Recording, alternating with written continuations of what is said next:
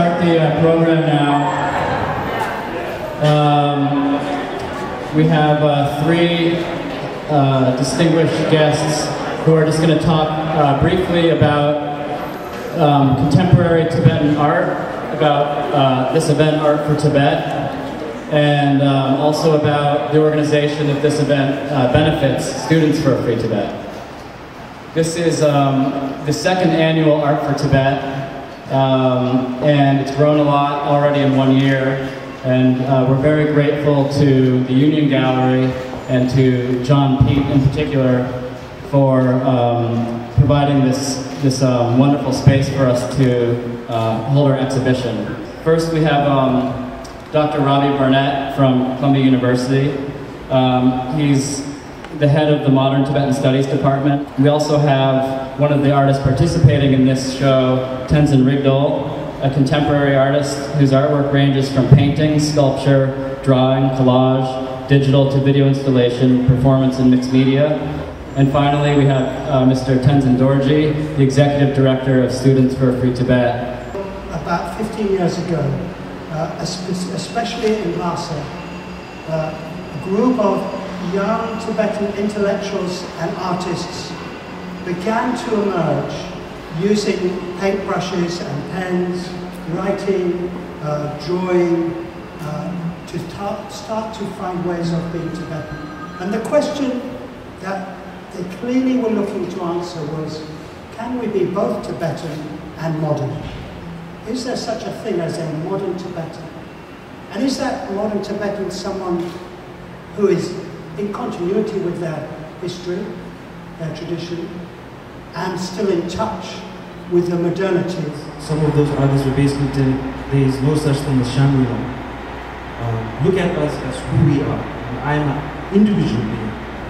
So there, there's this all this struggle going on, um, and then there's another group of artists who, who are saying like there's this image of Buddha which is like so powerful, it's like Superman and uh, rather than disregarding it, how about I take that image and take it as a tree, and rather than taking it out and replacing it with different plant, they said, okay, we'll prune it, you know, try to hybridize modern uh, idea, and then see what we can get out of uh, Tibetan traditional work. Tibetan art is very much like existential art, where they're asking question about uh, who I am, uh, against all this uh, backdrop of history. So um, currently when I see uh, lots of Tibetan artwork, that's where I see They're talking about identity. identity against modernity and all those things. And a group of artists, those who are aligning themselves with the traditional artwork, basically what they're doing is they're doing anti-pop art.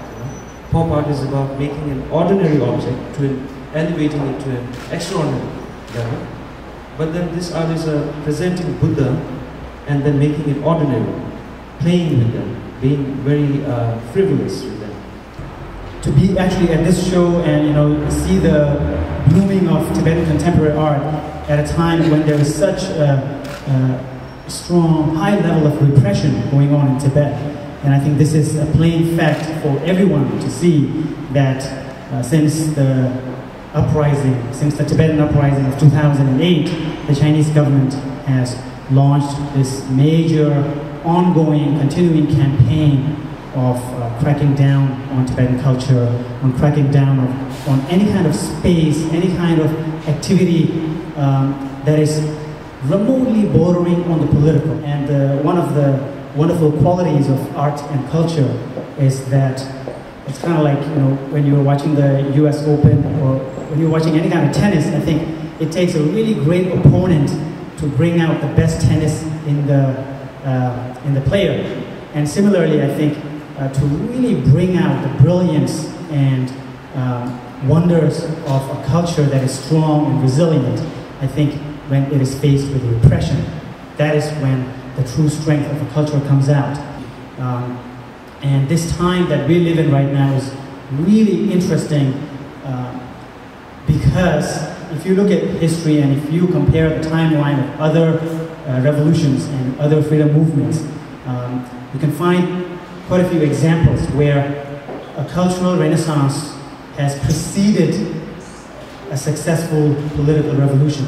And you know, usually when you're faced with a government that is really good at propaganda, really good at uh, cracking down on politics, on uh, you know, political freedom, um, sometimes I think if you throw them a curveball, if you throw them, you know, an artistic, a cultural kind of resistance, then they get confused. So they know how to deal with politics, but they don't really know how to deal with art. And most times they don't know how to uh, recognize and identify art and culture.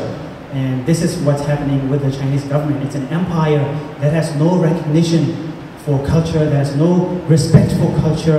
And in a way, this turns out to be our advantage in our struggle.